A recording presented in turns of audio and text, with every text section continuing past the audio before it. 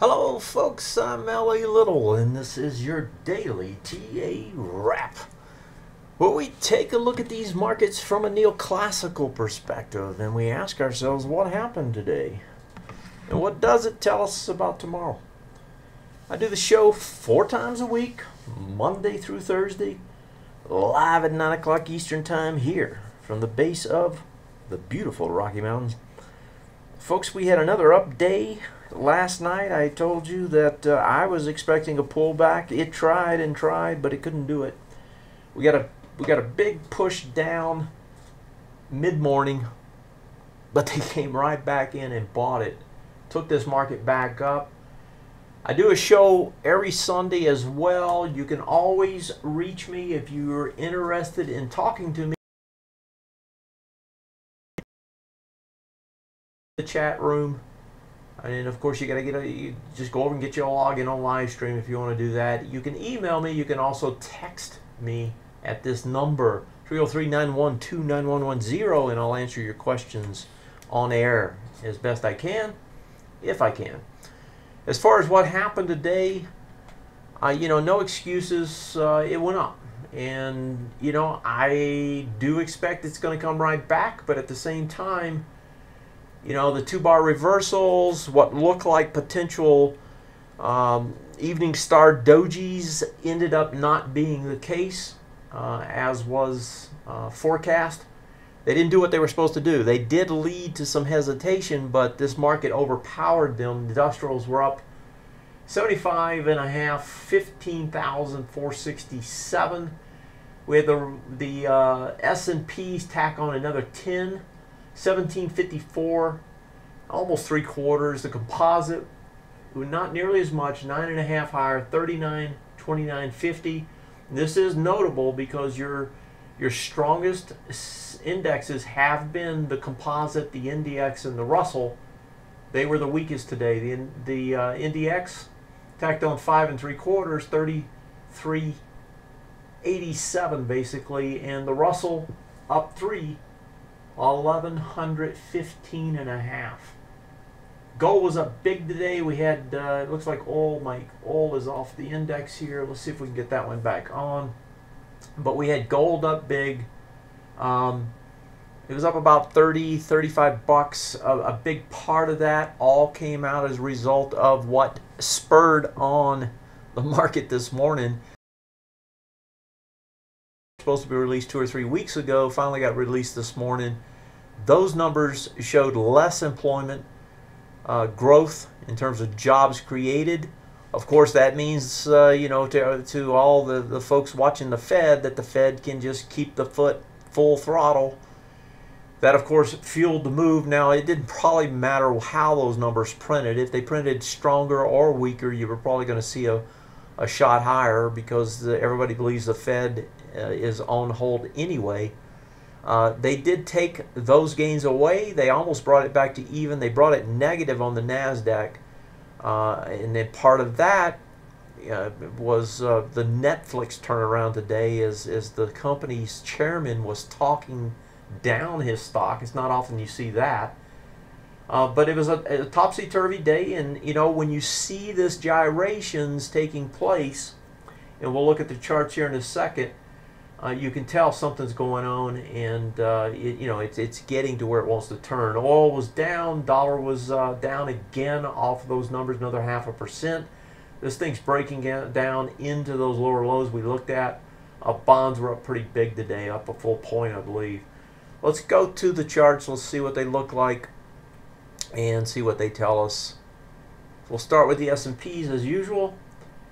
So here we go, S&Ps, what do we get here? A nice big spike up. So we had the doji yesterday, that was an evening star, but the way that has to complete to actually be one is you need a down day the next day. We didn't get that. We actually started up and just continued up. We spiked up as high as 1760 it looks like, almost 1760. Remember we had an ABCD target on the weekly. We had two of them, if you remember uh, actually, I talked about this Sunday night, which uh, the broadcast kind of got messed up, so let's go over it again together. We had two ABCD structures. You had a smaller one that was from this price point up, down, and back up. So you had an A, B, a C, and up. That one projected to about 1740.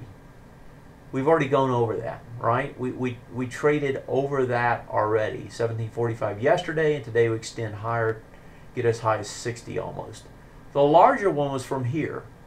So you had an A here, a B up there, your C down here, and then the projection up. It's over. That thing projects to about 1780. We got as high as 60, so we're about 20 points away from completion of the larger structure that was in place. And, and that, you know, I thought the 1740, actually I think it was like 1745. I thought that would probably hold it. I take that back. It was 1750. We could go do, do the calculation, but it was 1750 because it was round number, 1745 to 1750. So that round number I thought would turn us. Uh, they didn't. They powered over it today. They did leave a suspect breakout. Usually those come back within six bars. Now, if this doesn't make it back within six bars, that increases the probabilities greatly that they're going to buy it. Remember, we got a gap right there and the high.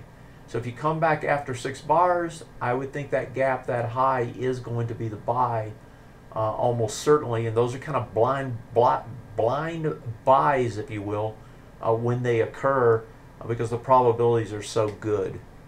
The Dow had a lot of strength today too. We had a bunch of earnings in the Dow. The Dow pokes up into resistance finally.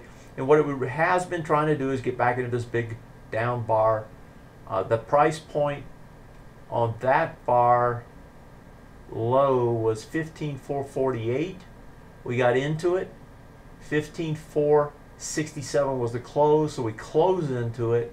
And you know how that works. A bar or two into it, you'll try to reach the other side. So if this market's going to turn, you're going to expect it to turn here and fell at this point, and, and, and to do so within a bar or two.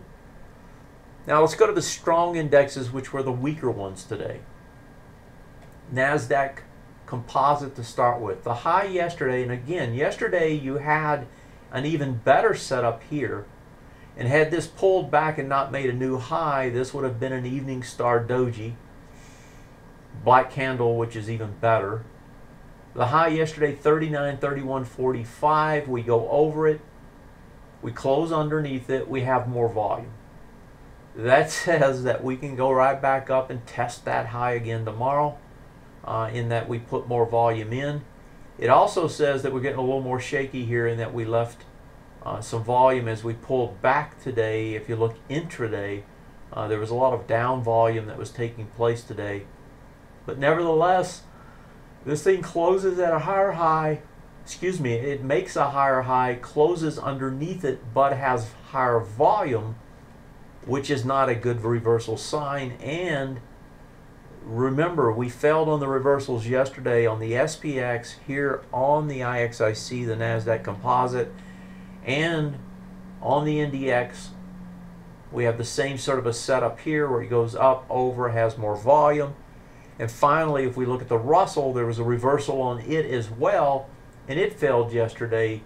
You know, it failed today to take advantage of yesterday's two-bar reversal. So we had plenty of index setups that said we should reverse today and get some sort of a pull pullback or sideways action at best.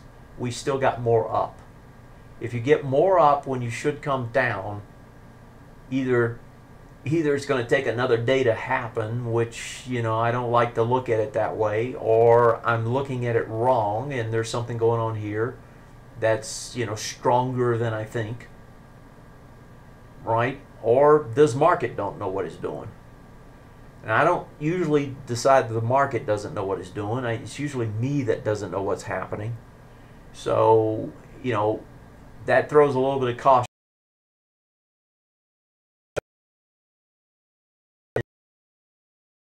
it fails, potentially sets up the reversal. But we're getting close. You can tell we're getting close. But it's not there again tonight uh, as it was last night. Last night we did have, when we went over and looked at the sectors, we had a bunch of sectors that weren't quite ready. And that was the only mixed signal part of this. And those sectors proved to be stronger today. Remember the IYT last night had been multiple it had been breaking out on the time frames looked like it wanted to extend. It did today left a tail on the upside. That's not good.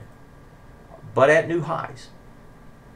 We have the smhs they just keep climbing day after day.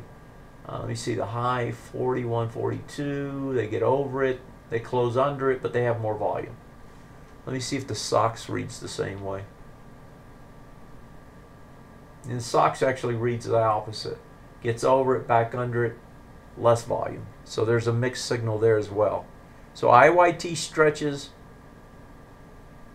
leaves a long tail on the top side. That's not good. SMHs, SOX, not telling exactly the same story. One says we can go higher, the other one doesn't. XLB we thought would test the highs. Well, it didn't just test them, it blew them away. 4378. You see volume was 5.5 against 5.2 and it has the volume on the break.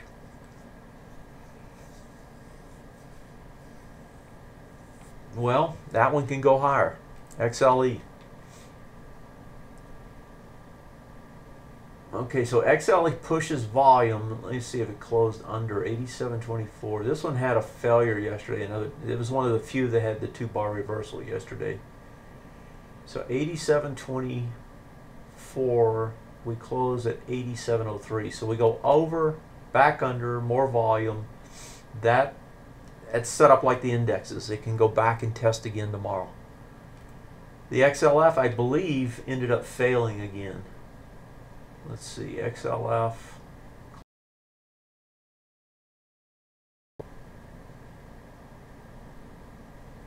Bring this over to the weekly, that was where we were measuring against. That volume, I mean, that high was 2093. So you get 1.6, and we're doing,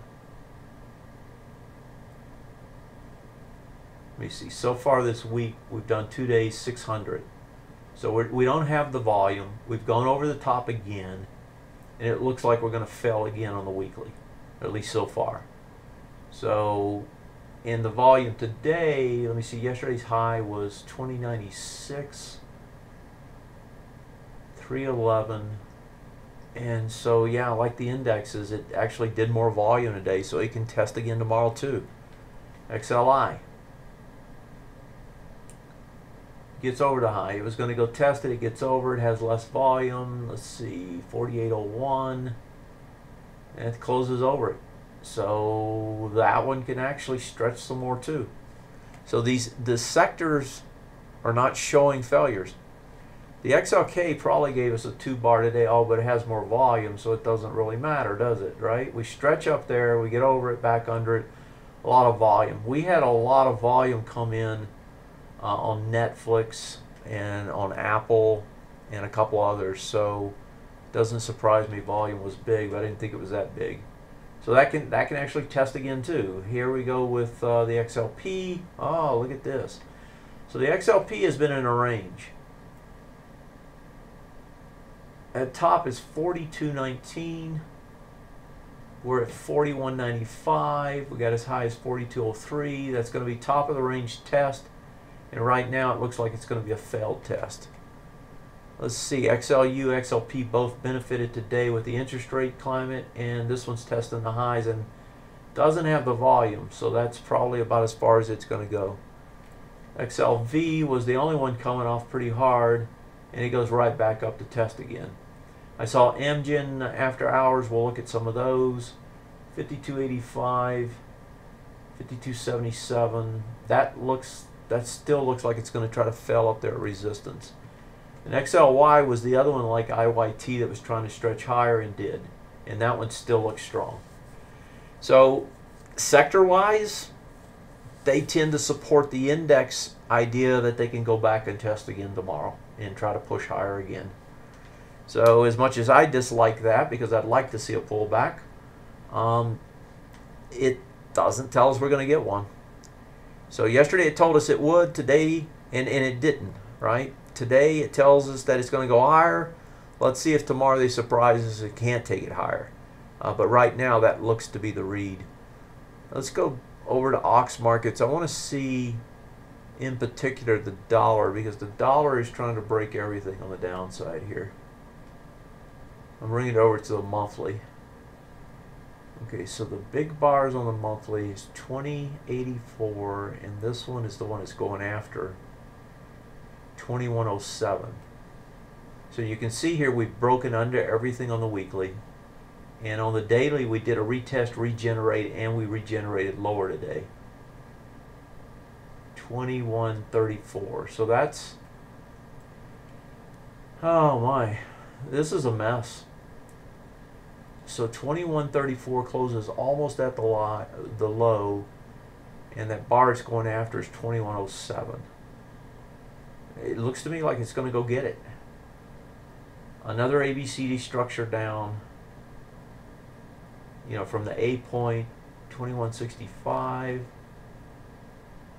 20, yeah, it's going to take it close. So dollar getting weaker, should make gold stronger. That is what we saw today. The dollar, you know, gets hammered, gold flies the other way. So gold spikes up. Remember, gold couldn't pull back.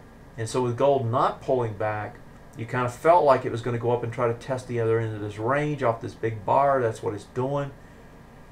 It's got to get over the high first. It's got the volume. I suspect it's already got over one of them. It's going to get over the other one tomorrow and then go back up here and test this area one more time.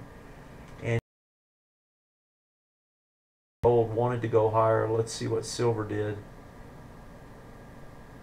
And I believe silver probably was stronger today. And it about the same, but decent volume again. So this one also is going to go test that high. The thing I did talk about, it looks like it actually did happen today, was the USO broke down. It looked like it was, was getting ready to break down uh, it in fact did break down. Volume expands one more time. Let's look at the weekly because that's where we were measuring. This one's trying to get into the high to start with. That's 35.53. It got as low as 35.43 is where it closed. Got as low as, um, get that up a little bit, 65, excuse me, 35.39 was the low, closed at 43. So you're into that bar. Yeah, it's going to dig deeper tomorrow. It looks to me like it's going to get towards the bottom of that swing point high, do a full retest regen off this area, which is about 3446, 3450 or so. Another buck. That that that's the target. And weekly volume 16, that's 8, that's 40. So volume is expanding on the way down. And 40 into this would be just about the same volume. So it's probably going to come down there, hit it with as much volume, get your bounce, come back up, fell again, and come back down again and test again. Uh, let's see what else we got here. So those were the main things. Silver, oh, bonds. Let's see what bonds did right quick. Okay, so bonds yeah, they're getting up into that guy just where they were trying to go. So it's 108.37, 107.76.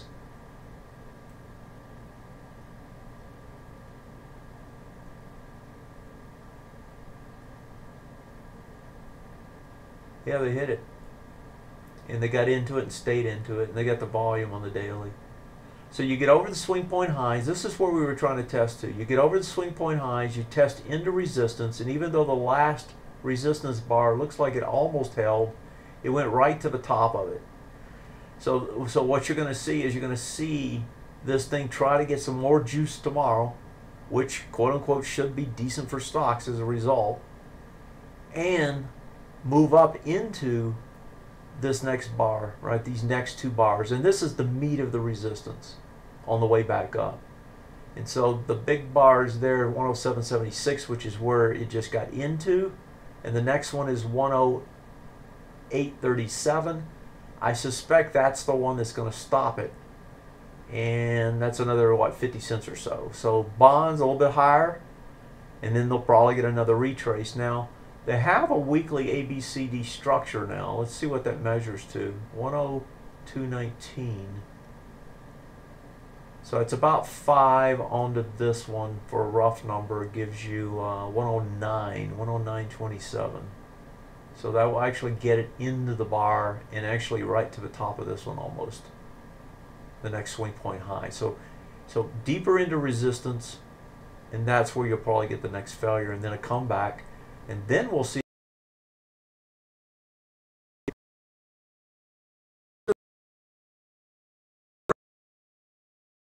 I have a couple questions. Uh, I see one over here. Uh, Tommy says, I asked about the refiners yesterday. Is it better for this group to have a falling oil price? I was looking at TSO and VLO. Uh, yeah, short-term trades. Um, well, the spread is, is what the refiners care, care about. And what I mean by that is, you know, oil is refined to make gas, to make other types of, uh, you know, heavier weight fuels, airplane fuel, so forth, right? That refining process, of course, you end up with distillates and you sell those. And so what you can get for them, right, gives you the spread. So if you're buying oil, just make it simple, you're buying oil for $100 a barrel and once you distill it, maybe it's worth 115 and you put, you know, in terms of all the different distillates that you come out with, and then maybe you put, you know, $10 into it so you got a $5 spread. Well, if gasoline prices stay where they are, which is a large part of what gets refined, right, percentage wise, if that price stays constant and the price of oil is coming down, then that spread's going to widen, and they call it the crack spread, right? If that widens, then that spread is in the benefit of the refiners, and therefore they make more money. And so that, that spread is what you're interested in. It's not necessary, you know, if oil prices come down and gas prices come down too, it doesn't matter. The spread stays the same. But it looks like gas prices are holding while oil is coming down, and that's going to make the spread wider, which is going to benefit the refiners. Um, so, so that was that was the idea. Uh, there's also a question uh, here in terms of looking at these, and if you if you are a member, you can pop in here and you can actually pull these up. Uh, sector trends. And the question has to do with like if you type in VLO, uh, then that will take you to that group, and then and then all of these are in the group. And the question is, is can you sort these? Well, you can sort based on uh, these, you know, trends. So if you short-term trend, you can put it in the most bearish ones, the most bullish ones, and so forth. So you can see them in terms of where they are in their trend. But you can also um, uh, add these to a watch list, you know, and and and and look at them there. Uh, I thought we had, huh? I thought we had an export on this too, to where you could put them in a spreadsheet. Maybe I'm remembering wrong. We have it on most of them. Yeah, maybe we'll have to export that so that you can export them. Then you can sort them any way you want in an you know Excel spreadsheet. Um, you can you, you can certainly click on the column and you know and usually the way I'm interested is what's most bullish you know in this particular case these are getting bullish on the short term but their intermediate term isn't yet so I'd want to know the strongest ones in the intermediate term and so if I sort on those then I can look at them like uh, if I'm glancing down on here most of them are not you know VLO is sideways and bullish, bullish confirmed on the short term. So that's not a bad setup there in terms of the trading cube. This basically is the bottom row of the trading cube. Western refinery, you got this one even looks better. So if I were to look at that particular chart, for example, and then it pops up all of these charts. And if I grab the daily one here, you can see how that one looks. Let's see what the weekly looks like. Yeah, the weekly is, you see the weekly is already over the highs. Doesn't have the volume though. So I think you have to wait on these guys to come back, right? Uh, but they're but you definitely should have them on your radar list because I think they're going to be valuable. So so that that's the explanation. I had another question. Uh, fact uh, text message to me here. Let me see what this one is. Uh, Cree. Cree is gapping down after hours. And the question is, is should we try to potentially buy at two big anchor bars on 814? Let me get Cree up and let's look and see what this looks like. So we got an 814, 10, 1 bars. That must be on the weekly or is it on the daily? I guess it's on the daily here. So you got a bar here on the 8, on the 10, 1 and the 814, right? You got a support zone there. That's the green bar. And this thing gapped down after hours. Let me see where it's trading or where it traded to after hours. So Cree earnings tonight closes at 63 in that area 62 69 isn't it amazing how they come right back to support? You know you can get a bounce trade off of this potentially tomorrow because of that big volume but i i'm almost certain this thing's going to do big volume tomorrow. You, this is not something you want to hold and the reason for that is you bring this over and look at the weekly. This is this is a classic setup. This happens over and over. I think we talked about it last night on a different stock. Uh, we talked about it on netflix where they'll have a huge sell off. I think it was Netflix. Anyway, we talked about on some stock. They'll have a huge sell off, right? Big volume. They'll find themselves. They'll come all the way back up there and test it again, and that's where they'll fail, right? And then it's over. It's probably over. And so this, to me, at best, is going to be some sort of a sideways range trade at best, but it could be all over. And so it's not something I want to try to buy and hold if anything, potentially you take a bounce trade off of it. Uh, ten dollars down on this one would put it down. Uh, what is it, about fifteen percent probably, right off the close today. So fifteen percent is enough to probably take a shot at a bounce trade if you want, but that's all I would do. I'd flip it. I wouldn't stay in it. So uh, that that would be the way I look at that one. Let's uh, while we have a couple minutes left, let me quickly flip through some of these earnings. So I want to go to Netflix. There was a great question last night about Netflix and what to do about it because it had skyrocketed on earnings. And I said that you're going to see a big reversal bar, and when you see it in volume expand, that's probably going to tell you that you shouldn't be in it. And man, did we get a reversal bar? We got it on the daily, and it's probably going to print on the weekly, which is what I was talking about, right? Do you want to see it print on the weekly? Well, you have a very big high, you got volume expanding, you're two days in if this thing does trade lower, which it looks like it could, then you're going to end up with a big reversal bar here, which tells you this big move is over. And so Netflix was, you know, if, if you got out this morning, that was a good one. I, I think I suggested taking some of it off this morning and then seeing whether the rest of it wanted to trade to. Uh, hopefully you, you made your money and got out. Uh, we had Amgen after hours. I'm going to flip through these just in order here. So Amgen trades to, um, looks like about after hours, what did we get to? 118. So that's going to get over the highs here, just barely. Uh, I want to quickly look at a couple that I'm interested in, and then I want to call it a night. I want to go to iRobot. This is one that to me is a very interesting one. Uh, iRobot doesn't look like it's going anywhere. Cree we looked at. How about Panera Bread? I didn't see what it did.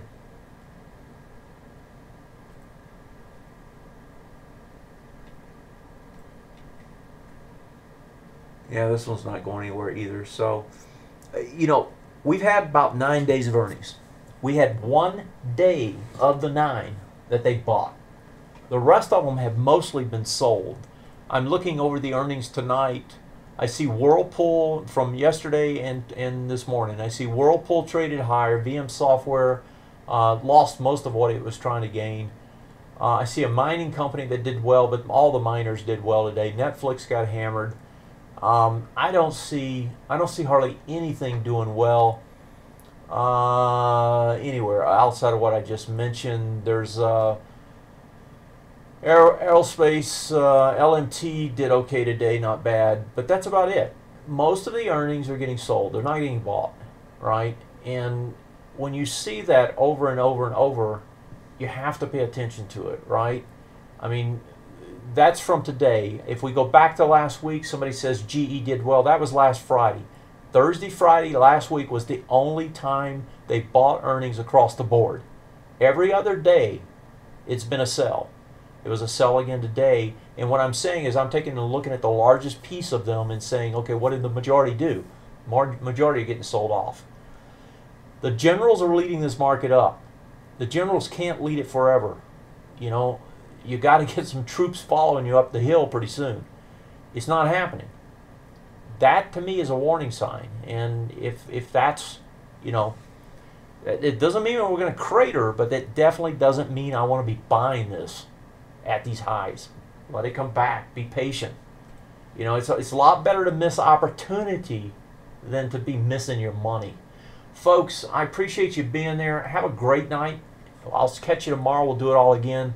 Uh, I still expect this market's going to have difficulty, even though it's showing us it wants to go higher tomorrow. I wouldn't, I, I, I wouldn't be buying it blindly uh, because of that. Have a great one. Take care. Good night, folks. Thank you.